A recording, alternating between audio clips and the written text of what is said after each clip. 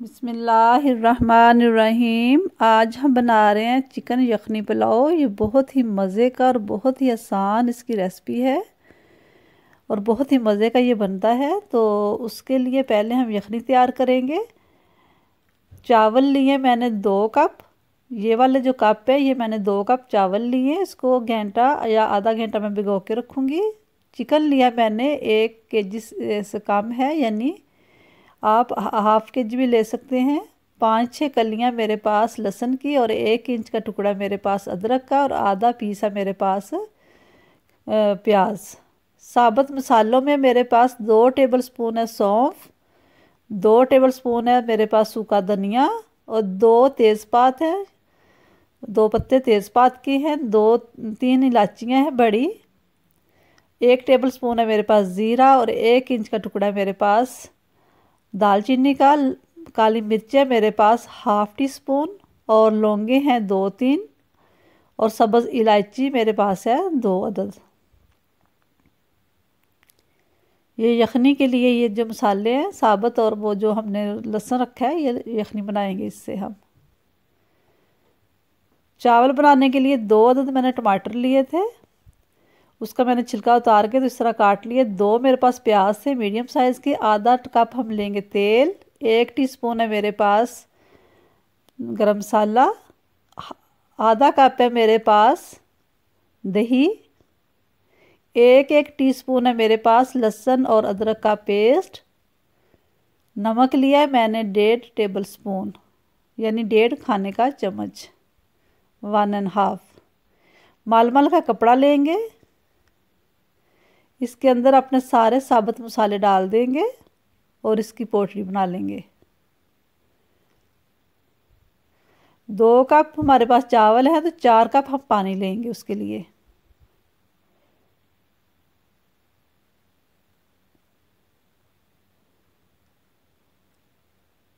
जब उसकी यखनी बनाएँगे तो ये पानी थोड़ा रह जाएगा फिर।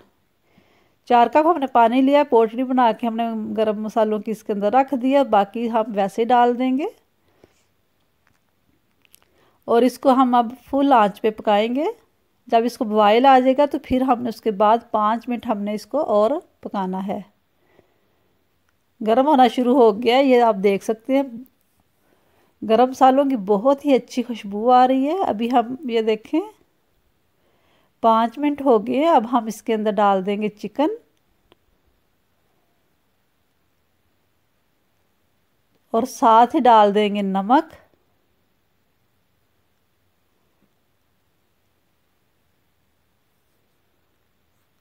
जो हमने लिया था, नमक आप बाद में भी चेक करके डाल सकते हैं और भी। ये टू टेस्ट है, अपने हिसाब से डालें। पाँच मिनट हो गए, अब हम पाँच मिनट बॉयल आने के बाद हमने फिर इसको पकाया था मीडियम आँच पे। दस मिनट कुल पके हैं, पाँच पहले और पाँच ये चिकन डालने के बाद। अब हम इसको निकाल लेंगे चिकन को और यखनी को हम छान लेंगे। और जब छानेंगे तो फिर हम छान, इसके ऊपर भी हम थोड़ा सा पानी डालेंगे ताकि जो ये पोटली वगैरह में जो रह गए हैं हमारे मसाले के फ्लेवर वो भी सारे यखनी के अंदर आ जाएँ।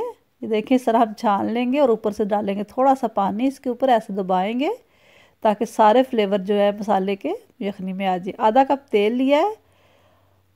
तेल गर्म हो गया, अब इसके अंदर डाल देंगे प्याज। प्याज को हम ब्राउन करेंगे।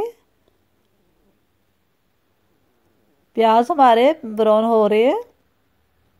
हो गया, अब इससे ज़्यादा हम नहीं करेंगे। इसमें डाल देंगे लहसुन और अदरक और एक मिनट के लिए अच्छा सा भूनेंगे। अब डाल देंगे इसके अंदर हम चिकन, गरम मसाला, टमाटर, सब्ज़ मिर्चें सब्ज़ मिर्चें ये तेज़ वाली हैं। तीन मैंने सब्ज़ मिर्चें साबुत डाली हैं और एक टीस्पून मैंने डाला है पेस्ट उसका। दही डाल देंगे और अच्छा सा इसको भूनेंगे, अच्छी सी चिकन की हम बनाई करेंगे। तब तक हमने इसकी बुनाई करनी है, जब तक तेल ऊपर ना आ जाए और ये जो हमने टमाटर वगैरह डाले हैं, ये सारे अच्छे से गाल ना जाए, मिक्स ना हो जाए।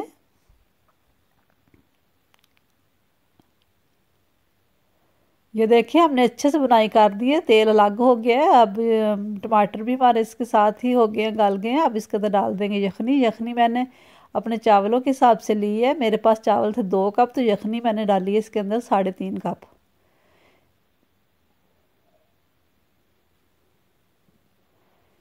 पानी का बॉइल आ गया था, चावल हमने डाल दिए और इस तरह मिक्स कर लिए।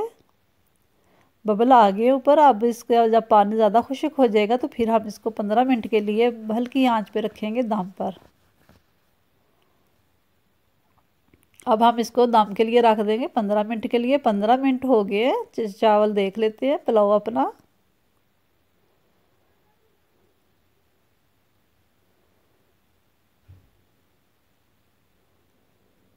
पुलाव हमारा तैयार है, अब हम डिश आउट करते हैं। बहुत ही अच्छी खुशबू आ रही है पुलाव की। अगर आपने इससे ज़्यादा स्पाइसी करना तो थोड़ी सी और भी काली मिर्चें डाल सकते हैं। हाफ़ टी स्पून के करीब। तो लीजिए, तैयार है हमारा। बहुत ही मज़ेदार, बहुत ही आसान इसकी रेसिपी है। चिकन यखनी पुलाव की। दुआओं में याद रखें। खुदा हाफिज़।